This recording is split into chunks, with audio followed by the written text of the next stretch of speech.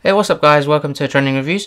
So pretty excited. Today I have the DJI Osmo Pocket. So you may have seen videos about this online. It's a three axis gimbal that you can use on a handheld device which comes with an LCD screen at the back to help you view some awesome smooth footage.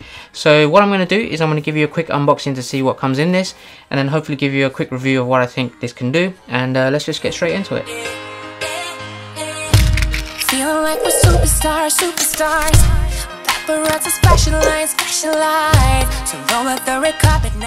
Right, so let's go ahead and open the box. So nice little box here. So this is actually pretty small, so I really like that it's very compact. So it comes with this pouch that you can take with you. Inside the pouch, you have your charging cable. So let me just quickly open that up. So there you have your USB-C charging cable and you also have a couple of adapters here that link with the DJI Mimo app. So if you'd like to use your mobile phone to control different aspects of this gimbal, you can do that with these adapters. So this is a iPhone lightning port adapter and then you also have USB-C adapter as well. So you can stick that into this uh, gimbal in the Osmo Pocket and then put that onto your phone which I will be showing you. So inside this uh, carry case you have a strap to put that on your wrist and then you also have a user guide and some booklets to get you up and running. So that's pretty small. If I just show you my hand, that just fits perfectly in there. And that clips closed on that one. And then you actually have the Osmo Pocket. So this one is the 3-axis gimbal so I'm going to be taking this off the screen. That's pretty satisfying just put that there. So that is very compact. You've got your charging port there at the bottom the USB-C and then you've got your gimbal which you can take the cover off the camera lens there as well. So just put that back in the box. And that's it. So take a look at the size of this literally so tiny fits in the palm of your hands very easily and I'm going to go ahead and uh, set this up and uh, give you guys a quick overview. Right so this is the Osmo Pocket you can see how small it is.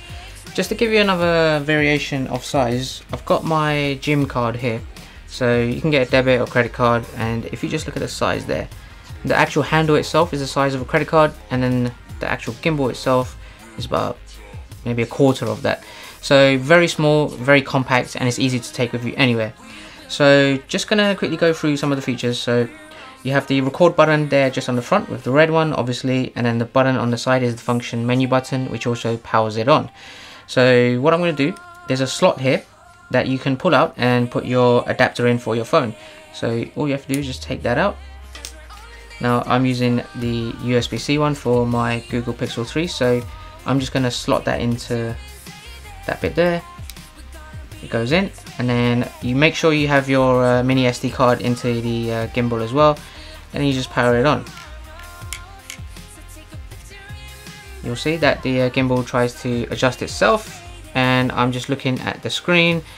So you can see the screen there very smooth footage.